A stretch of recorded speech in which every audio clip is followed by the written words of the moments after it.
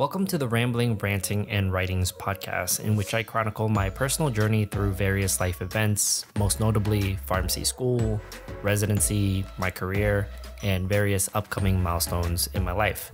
This content originally started as a personal blog of mine on Tumblr, and since I'm interested in dabbling in podcasts in the future, and I guess technically I am now, I figured I'd share some of my personal thoughts with all of you in hopes that it'll help to inspire or motivate some of you in your own personal journeys. Today's episode is titled Altruistic.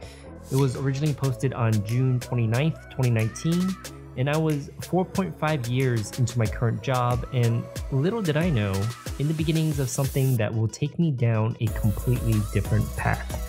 With that said, let's go ahead and get started.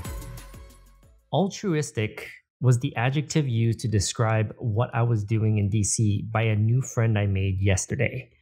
While it certainly made me slightly hesitant for a moment and question whether I will actually make any difference, I was also invigorated by the challenge.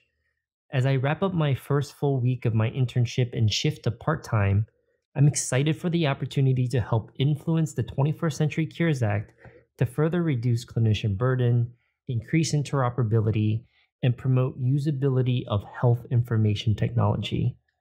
As I begun to immerse myself this past week in the proposed CMS and ONC rules for electronic prescribing, I was somewhat surprised the department had no pharmacy representation. Apparently, they have been looking to recruit a pharmacist. Their last two moved to different positions over a year ago, and my application came at the right time truly characterizing right time, right place.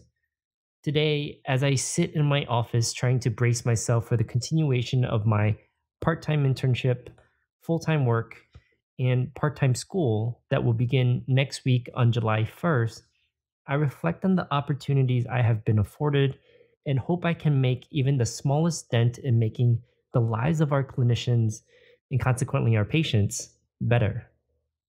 Lastly, I will be removing myself from all forms of social media for the next two months as I tackle this challenge.